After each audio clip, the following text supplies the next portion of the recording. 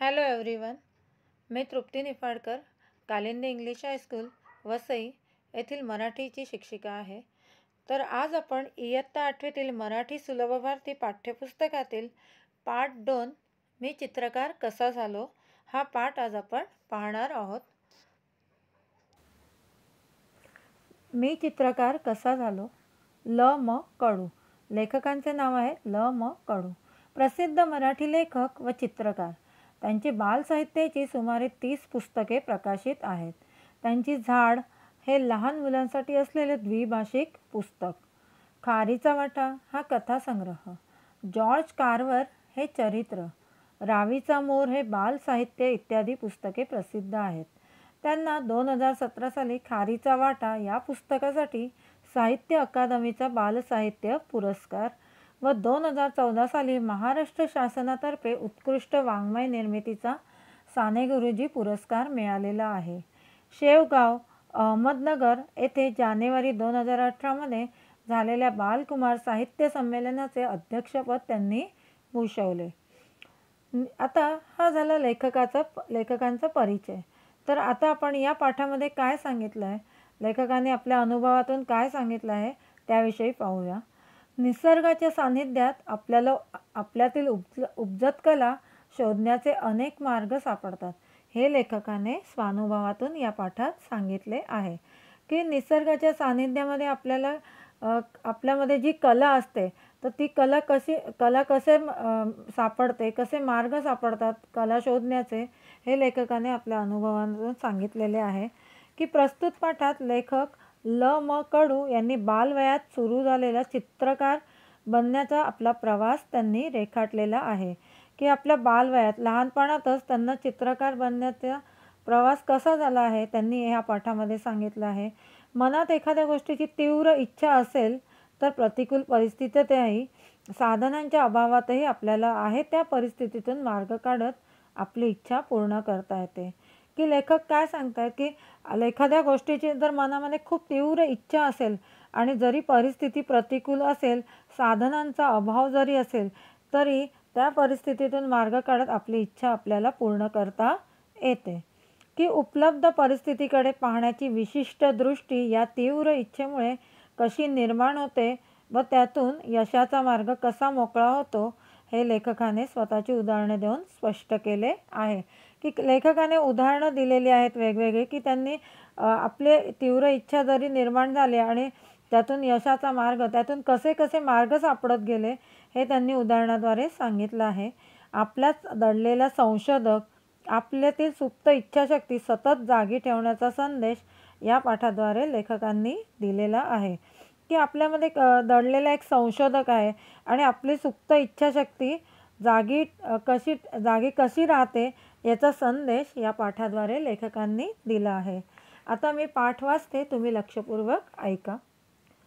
मी तुमच्या एवढं असताना जे अनुभवलं पाहिलं ते तुम्हाला सांगणार आहे. की लेखक सांगतात की की मी तुमच्याच वयाचा होतो तेरा वर्षाचा होतो. समजा तर त्यावेळेस तुम्हाला काय अनुभव त्यावेळेस जे जे अनुभवलं आहे पाहिलं आहे ते लेखक सांगत आहे. प्रथम निसर्ग. आपला आपण निसर्गाला कधीही विसरून चालणार नाही. की निसर्गाचं किती महत्त्व आहे निसर्ग वाचून आपण राहू शकत नाही. त्याच्या विरोधात न जाता मर्जीत राहणं केव्हाही चांगल्या केव्हाही आपल्या फायद्याचं आहे. निसर्गातून आपलं पालनपोषण होतं आणि निसर्गच आपल्याला नाना कला शिकवतो. निसर्ग ढुंडाळत राहा. तुम्हाला सर्जनाच्या वाटा आपसुकच सापडतील.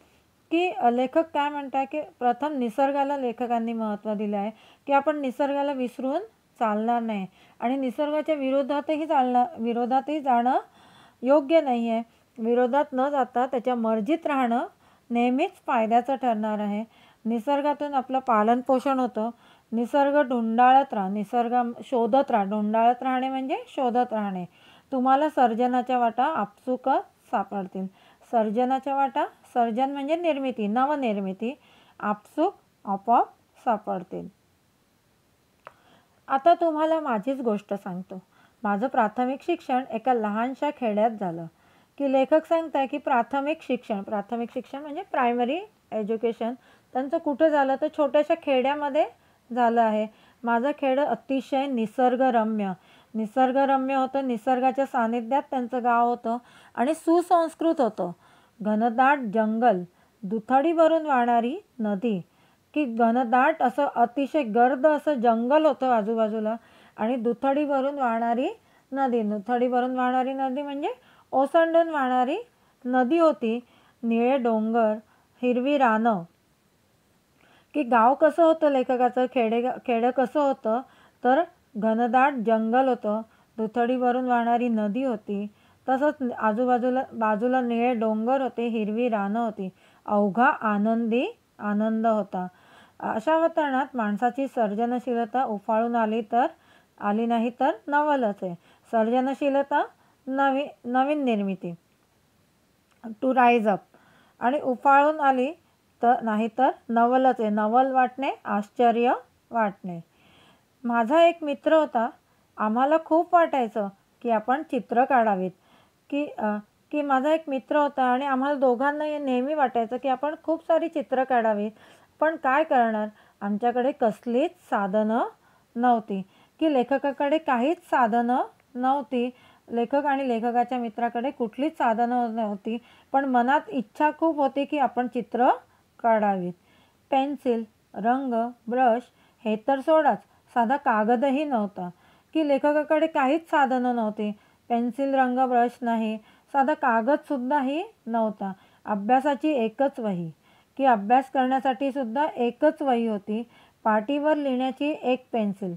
तिथे तुकडे झाले तरी सांभाळून वापरावी लागायची. की लेखकाकडे वही कागदही नव्हता. पेन्सिल रंग ब्रशसुद्धा नव्हते. आणि अभ्यास करण्यासाठी सुद्धा एकच वही. परत पाटीवर पाटी म्हणजे स्लेट. तर पाटीवर लिहिण्याची एकच पेन्सिल. आणि तिचे तुकडे झाले तरी सांभाळून वापरावी लागायची. की तिला एकदम जपून जपून सांभाळून सांभाळून वापरावी लागत असे. दुसरी मिळण्याची शक्यता नव्हती. की दुसरीसुद्धा पेन्सिल मिळण्याची शक्यता नव्हती. शिवाय सगळ्यात मोठी अडचण किंवा धाक असा होता की चित्रवित्र काढलेली ना मास्तरांना आवडायची ना घरातल्यांना. वात्रटपणा वाटायचं. की सगळ्यात मोठी अडचण कुठली होती? लेखक काय सांगतात की सगळ्यात अडचण कुठली होती किंवा धाक कुठला होता तर चित्र वगैरे काढलेले चित्रवित्र काढलेली ना मास्तरांना आवडायची ना घरातल्यांना. की घरातल्या लोकांनासुद्धा ही चित्र काढणं आवडत नसायचं. वात्रटपणा वाटायचा म्हणजे आगाऊपणा वाटायचा किंवा मस्ती वाटायची. त्यामुळे चित्र काढायचासुद्धा ही धाक होता किंवा अडचण होती. वैशाख महिन्यातलं ऊन करपवून टाकणारं असायचं. वैशाख महिना म्हणजे मराठी जे बारा महिने आहे त्याच्यातला दुसरा महिना वैशाख महिना. तर वैशाख महिन्यात ऊन खूप कडक असतं आणि ऊन अगदी करपवून टाकणारं असायचं. आम्ही गावातली सगळी मुलं नदीच्या डोहात जाऊन पडायचो की गरमीचं गरम व्हायचं आणि ग गरमीमुळे सगळी लहान मुलं गावातली सगळी लहान मुलं नदीच्या डोहात जाऊन पडायचो. डोह म्हणजे नदीतलं मोठं पात्र पाण्याचं पूल पाण पाणी जास्त खोलवर असेल ते पात्र. अंगात गारवा भरला की पुन्हावर काठावर येऊन बसायचं. की थंडी वाजायला लागली गारवा भरला की पुन्हा काठावर येऊन बसायचे. काठालगत खूप खडक होते. खडक रॉक. की क काठाच्या बाजूला खूप खडक होते. पाण्याच्या प्रवाहामुळं गुळगुळीत सपाट झालेले लांब रुंद पसरलेले की पाणी सारखं वाहतं असल्यामुळे प्रवाहामुळे प्रवाह फ्लो त्यामुळे जे दगडं जी होती जे खडक जे होते ते कसे झाले होते? गुळगुळीत झाले होते सपाट झाले होते आणि लांबच्या लांब लांब पण पसरले होते आणि रुंदसुद्धा पसरलेले होते. आम्हाला तिथंच आमचा कॅनव्हास सापडला. की लेखक काय सांगताय? की लेखकाकडे कागदही नव्हता. चित्र काढण्यासाठी कुठलीही साधनं नव्हती. तरीसुद्धा लेखकांना काय दिसलं? नदी भोवती जेव्हा ते काठात डोहात पोहायला जायचे आणि ते खडकावर बसायचे तेव्हा त्यांनी पाहिलं की पाण्याच्या प्रवाहामुळे गुळगुळीत आणि सपाट झालेले जे लांब रुंद पसरलेले जे खडक होते तर त्याच्यावरच कॅ तेच काढायला कॅ कॅनव्हास सापडला चित्र काढण्यासाठी कॅनव्हास सापडला. की कॅनव्हास म्हणजे काय? चित्र काढण्यासाठीचा कापडी फलक. पण लेखक कुठे चित्र काढणारे? या खडकांवर काढणारे. तर खडक कसे झाले आहेत गुळगुळीत सपाट आणि लांब रुंद. या भल्या थोरल्या थोरल्या खडकांवर मनसोक्त चित्र काढता येणार होती. मनसोक्त म्हणजे मन भरेपर्यंत. भल्या थोरल्या की असे मोठे मोठे जे खडक होते त्यावर मन भरेपर्यंत चित्र काढता येणार होते. पण का कशानं काढणार? तोही मार्ग सापडला. की आता खडक तर मिळाला आहे कॅ कॅनव्हास तर मिळा मिळालेला आहे पण आता चित्र कशाने काढणार? तर तोही मार्ग सापडला. आमच्या त्या भागात तांबूस रंगाचा मुरूम असतो. मुरूम क्लेस्टोन की तांबूस रंगाचा जो मुरूम असतो शिवाय पिवळ्या रंगाचे दगडही सापडतात. की पिवळ्या रंगाचे दगड सापडतात? ते दगड पडले की त्याची पिवळी पिवळी फक्की पडते. की पिवळ्या रंगाचे दगड सापडले की पिवळी पिवळी फक्की पडते. पिवळी फक्की म्हणजे बारीक चुरा किंवा पावडर. तर ती कशी असते? तर अगदी पिठासारखी असते. हवं तसं पाणी घातलं की पिवळा रंग तयार. की तो दगड जर आपटला तर त्याच्यातून काय मिळते? पिवळी पिवळी अशी पिठासारखी पीठ होत होतं आणि त्या पिठामध्ये पाणी घातलं की पिवळा रंग तयार. आणि जे मुरुम जे आहेत तांबूस रंगाचे जे मुरुम आहेत क्लेस्टोन्स आहेत तर त्याच्यामध्ये त्या त्या मुरुमाचा खडा ओला करून घात घेतला आणि खडकावर चित्र रेखाटन सुरू झालं. की जो मुरुम होता त्याचा खडा ओला करून घेतला की खडकावर चित्र रेखाटणं सुरू झालं. काय काढू आणि काय नको असं व्हायचं. की काय काय चित्र काढू आणि काय काय नको असं लेखकांना झालं. गुडघ्यांवर टेकून रेष काढण्यात दंग व्हायचो. की गुडघ्यांवर टेकून uh, uh, लेखक रेषा काढ रेष काढण्यात दंग व्हायचे. रेष काढ रेषा काढीत हातभर पुढं सरकल्यावर मागे वळून पाहावं तर रेषा वाळून लाल जर्द झालेल्या असायच्या. की रेषा काढत रेषा काढत हातभर पुढे सरकला की थोडंसं पुढे सरकल्यावर मागे वळून पाहिलं तर जे मुरुम ओला करून जेव्हा त्या रेषा काढायच्या तेव्हा तो मुरमात मुरमाचे जी रेषा काढलेल्या असायच्या त्या सुकलेल्या असायच्या त्यामुळे रेषा वाळून लाल जर्द झालेल्या असायच्या. आणखी सुरसुरी यायची. सुरसुरी यायची उत्साह यायचा. की त्या रेषा पाहिल्या ते लाल बडक झाले लाल गर्द झाल्या तर ते पाहून अजून सुरसुरी यायची. तापलेल्या खडकावर टेकून टेकून गुडघ्यांची साल्टं गेलेली लक्षातच यायची नाहीत. की जो तापलेला खडक होता की गरम उन्हाळा होता आणि गरमा गरमीमुळे खडक एकदम चटके बसायचे आणि त्याच्यामुळे टेकून गुडघ्यांवर टेकून टेकून पुढे सरकल्यामुळे गुडघ्यांची साल्टं निग निघालेली लक्षातच यायची नाही. मग उभ्या खडक्यांवर चित्र काढणं सुरू झालं. की नंतर मग जे उभे उभे जे खडक होते जे रॉक्स जे होते तर त्याच्यावर चित्र काढणं सुरू झालं. काही दिवसांनी वाटायला लागलं की यात रंग भरावेत. की पूर्वी पहिले कागद नव्हता मग त्यांना कॅनव्हास सापडला. मग त्यांना मुरुमं सापडले मुरुमं ओल मुरुम ओला केला की त्याच्याने त्यांनी चित्र काढायला सुरुवात केली. मग नंतर त्यांना पिवळा दगड पिवळ्या रंगाचे दगडही सापडले. त्याच्याने ते पिठासारखे पिठासारखे दिसायचे. त्या पिठामध्ये पाणी घातलं तर पिवळा रंग तयार. आता लेखकांची इच्छा अजून वाढली. लेखकांना वाटलं की उभ्या की आता यामध्ये रंग भरले पाहिजेत. पण ते कुठून आणणार? की रंग तर आता कुठून आणणार? त्या दिवसात काटेसावर फुलते लाल भडक होते. काटेसावर वनस्पती आहे. एक प्रकारचे कापसाचे झाड a kind of cotton plant की ते काटेसावर फुलते लाल भडक होते. तिच्या फुलातले पराग पाण्यात चुरगाळले की जांभळा रंग मिळतो. की त्या तिच्या फुलातले जे पराग आहेत तर ते पाण्यात चुरगळले की त्याच्यापासून कुठला रंग मिळतो? जांभळा रंग मिळतो. शेंद्री नावाच्या वनस्पतीच्या बोंडातल्या बिया भगवा रंग देतात. की शेंद्री नावाची जी वनस्पती आहे वनस्पती प्लांट तर त्याच्यातल्या ज्या बोंडातल्या बिया ज्या आहे बिया म्हणजे सीड्स तर त्याच्याने कुठला रंग होतो? भगवा रंग देतात. भगवा रंग सॅफ्रॉन कलर काही पानांचा हिरवा केला चुन्याचा पांढरा केला कुंकवाचा लाल आणि दगडाचा पिवळा होताच. की बा होताच. बांबूची कोवळी काडी घेऊन पुढचं टोक ठेचलं की त्याचा ब्रश व्हायचा. आता ब्रश कसा तयार केला त्यांनी? तर बांबूची कोवळी काडी घेतली आणि पुढचं टोक ठेचलं. पुढचं टे टोकाला थोडंसं ठेचून घेतलं आणि त्याचा त्यांनी ब्रश तयार केला. तहान भूक हरपून आम्ही दगडावरची चित्र रंगवत बसायचो. की लेखकांना कॅनव्हास मिळाला. मग रंग तयार केले त्यांनी. वेगवेगळ्या वनस्पती वापरून वेगवेगळ्या फुल बिया फुलांचे बिया वापरून त्यांनी रंग तयार केले. नंतर त्यांनी ब्रश तयार केला. हे सगळं करताना ते आपली तहानभूक विसरले हरपले आणि त्यांनी दगडावरची चित्र रंगवत बसायचे. नजर जाईल तिथपर्यंत चित्रच चित्र. की ज्या म्हणजे किती दूर जाईल तिथपर्यंत चित्रच चित्र दिसायची. नजर जित जोपर्यंत जाईल तिथपर्यंत चित्रच चित्र दिसायचे. थोड्या दिवसांनी पाऊस यायचा नदी व्हायला लागायची. आमची चित्र नदीच्या पोटात गडप व्हायची की थोड्या दिवसांनी पाऊस यायचा उन्हाळा संपला. उन्हाळा संपला की काय सुरू होतं? पावसाळा. तर पाऊस यायला लागला की नदी व्हायला लागायची आणि आमची चित्र कुठे जायची? तर नदीच्या पोटात गडप व्हायची गडप व्हायची म्हणजे गायब व्हायची मी जे काही व्यक्तिगत सांगतो आहे ते एक उदाहरण आहे. की आता लेखक काय सांगताय? मी काही व्यक्तिगतपणे सांगतो आहे. ते एक उदाहरण आहे. निसर्ग किती परीने निसर्ग किती परीनं आपल्याला देत असतो ते लक्षात येईल. मला इतकंच म्हणायचं आहे की साधनं नाहीत म्हणून अडून बसण्याचं कारण नाही. तुमच्या इच्छा तीव्र असतील तर साधनांशिवाय साधना करता येते. की लेखक आता व्यक्तिगतपणे सांगतायत की मी ते एक उदाहरण आहे की निसर्ग आपल्याला किती परीनं किती वेगवेगळ्या पद्धतीने देत असतं ते आता लक्षात येईल.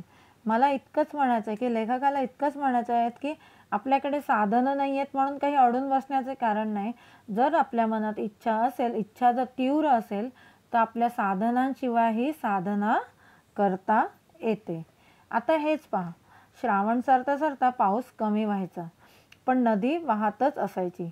की आता श्रावण महिना लागला आहे मराठी महिन्यातील सा श्रावण महिना. तर श्रावण सरता सरता पाऊस कमी झाला तर नदी वाहतच असायची. आमचा कॅनव्हास म्हणजे खडक मोकळा व्हायला पार चैत्र महिना उजाडायचा. की पावसाळ्याचे दिवस आहे तर नदी वाहतच असायची आणि त्यामुळे खडक पूर्णपणे मोकळं होण्यासाठी कॅनव्हास मोकळा होण्यासाठी पार पूर्णपणे चैत्र महिना यायचा. तोवर काय करायचं? तोपर्यंत काय करायचं? त्यातूनच आम्हाला मातीचा नाद लागला. की तोपर्यंत काय करायचं? तर त्या लेखकांना मातीचा नाद लागला. लाल वडक मौशार माती हाताला लोण्यासारखी वाटायची. की माती कशी होती? लाल भडक अशी मऊ होती माती. लोण्यासारखी म्हणजे एकदम मऊ मऊ बटर. तर तशी मऊ मऊ माती होती. मूर्ती कराव्यात असं ठरलं. मग आम्ही ठरवलं की मूर्ती बनवाव्यात. मूर्ती कराव्यात. पण हा मातीचा खेळही लपून छपून करावा लागे हा मातीचा खेळसुद्धा लेखकांना लपून छपून करावा लागत असे. कधी गोठ्याच्या मागच्या बाजूला नाहीतर गावातील मंदिराजवळच्या बकुळीच्या झाडाखाली आमचा उद्योग चालायचा.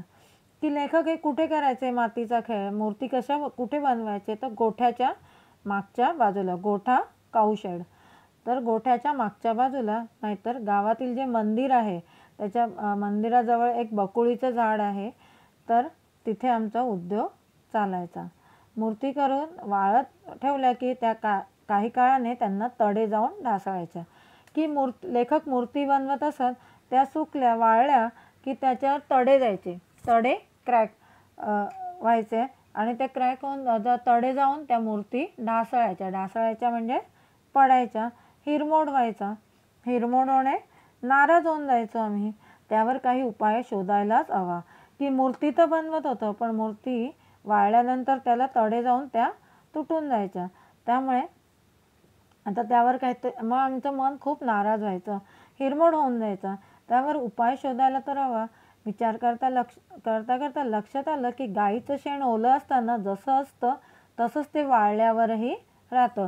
की लेखक असे विचार करत असताना लेखकांना लक्षात आलं की की गाईचं शेण जे आहे शेण कावडंग गाईचं शेण ओलं असताना जसं असतं जसं ओलं असतं तसं असतं ते वाळल्यावरही तसंच असतं. त्याला तडे जात नाहीत. आम्ही शेण मातीत मळून घेतलं. आता मूर्ती थोड्या टिकायला लागल्या. तरीही जास्त दिवस झाल्यावर बारीक बारीक तडे जाऊन ढलप्या पडायचा. पुन्हा विचार सुरू. की आता लेखकांनी काय केलं? की लेखकांना वाटलं जसं शेण ओलं असताना जसं असतं तसं ते वाळल्यावरही तसंच राहतं. त्याला तडे जात नाही. म्हणून लेखकांनी मूर्ती बनवताना शेण शेण मातीत मळून घेतलं. आणि आता थोड्या थोड्या मूर्ती टिकायलाही लागल्या होत्या. पण जास्त दिवस झाले तर त्याला बारीक बारीक तडे जायला लागले आणि ढलप्या पडायच्या. ढलप्या पडायच्या तुकडे पडायचे. मग परत पुन्हा विचार सुरू की लेखक पुन्हा विचार करायला लागले की आता कसं करायचं? आम्हाला गाव आमच्या गावात आठवडे बाजार भरायचा. आठवडे बाजार विकली मार्केट तर आठवडे बाजार भरायचा महादू आयते कपडे विकायला यायचा. की महादू आयते कपडे रेडीमेड कपडे. की महादू आयते कपडे विकायला यायचा. सगळा डोंगर भाग फक्त पायवाटा तो आपला माल घोड्यावर लादून आणायचा. की महादू नावाचा जो व्यक्ती होते तो कपडे विकण्यासाठी यायचा. पण तिकड तिकडचा भाग सगळा कसा होता? तो डोंगर होता आणि फक्त पायवाटा होता. तर तो आपला माल कशावर घेऊन यायचा? कशावर लादून आणायचा? तर घोड्यावर लादून आणायचा. नादरुकीच्या झाडाची दाट सावली पडायची. नादरूक पिंपरण किंवा पिंपळवर्गीय झाड. की पि पिंपळवर्गीय म्हणजे peepal types of peepal trees नादरुकीच्या झाडाची दाट सावली पडायची. तो झाडाच्या मुळीला घोडा बांधून ठेवायचा. की तो नादरुकीच्या झाडाखाली जी सावली पडायची तिथे त्या झाडाच्या मुळीला तो घोडा बांधून ठेवायचा.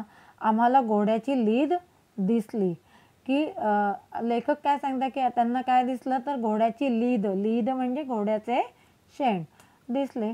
लीद म्हणजे घोड्याचं शेण. त्यात बारे बरेच धागे धागे दिसत होते. की त्यामध्ये बरेच बरेच असे धागे दिसत होते. हे धागे मातीत द माती धरून ठेवतील असा विचार करून आम्ही तो प्रयोग केला. की जे घोड्याचे जी लीद आहे त्याच्यात जे बारीक बारीक धागे दि बरेचसे धागे दिसत होते त्यामुळे ह्या धाग्यांम हे धागे माती धरून ठेवतील असा विचार करून आम्ही तो प्रयोग केला. प्रयोग केला एक्सपेरिमेंट केले. आता आमच्या मूर्तींना बिलकुल तडे जात नव्हते. की आता लेखकांनी ज्या मूर्ती बनवल्या होत्या त्याला बिलकुल तडे जात नव्हते. तुटत नव्हते डलप्या पडत नव्हत्या. केवढा आनंद झाला हे मला शब्दात सांगता येणार नाही. की किती आनंद झाला त्यावेळेस मला हे शब्दात सुद्धा सांगता येत नव्हते. मी माध्यमिक शाळेत असताना आर्किमेडिस या शास्त्रज्ञांचा धडा वाचला होता. की लेखक सांगताय की माध्यमिक शाळेत असताना मी आर्किमेडिस जे शास्त्रज्ञ आहे जे सायंटिस्ट आहे तर त्यांचा एक पाठ वाचला होता. त्याला हवं होतं ते तत्त्व शोधण्यासाठी तर साध्या वाटणाऱ्या गोष्टीतही ते शोधत राहायचा. की आर्किमेडिस शास्त्रज्ञ जे आहे सायंटिस्ट जे होते तर त्या ते आपलं तत्त्व शोधण्यासाठी तत्त्व प्रिन्सिपल शोधण्यासाठी ते छोट्या छोट्या साध्या साध्या गोष्टीतही ते शोधत राहायचे. आणि ते सापडल्यावर तो घरातून युरेका युरेका करत धावत सुटला. की त्यांना ते सापडल्यावर ते घरातूनही युरेका युरेका करून धावत सुटला. Eureka eureka. करून धाव म्हणजे सापडलं आहे सापडलं आहे असं करत धावत सुटला. तेव्हा माझ्या लक्षात आलं की आपल्यालाही तेवढाच आनंद झाला होता जेव्हा मूर्तींना तडे जाण्याचं थांबलं होतं. की तसाच आनंदसुद्धा तसाच आनंद आम्हाला सुद्धा झाला होता. लेखकांना सुद्धा झाला होता जेव्हा मूर्तींना तडे जाण्याचं थांबलं होतं. आपल्यापुरता का होईना पण तो एक शोध होता. की लेखक सांगताय की त्यांच्यापुरता का होईना पण तो एक शोध होता. मुलांनो मी तुम्हाला एवढंच सांगेन की तुमच्या आमच्यात आर्किमेडिस दडलेला आहे. त्याला कायम जागता ठेवा. तुमचं आभाळ कायम आनंदानं भरलेलं राहील. की लेखक काय सांगतायत मुलांनो की तुम्हाला मी एवढंच सांगेन की प्रत्येकात तुमच्या आमच्यात प्रत्येकात आर्किमेडिस दडलेला आहे. त्याला नेहमीच कायमच जागता ठेवा. तुमचं आभाळ कायमच कायम आनंदानं भरलेलं राहील. शब्दार्थ आपसुक आपोआप. दुथडीवरून वाळणे ओसंडून वाहणे.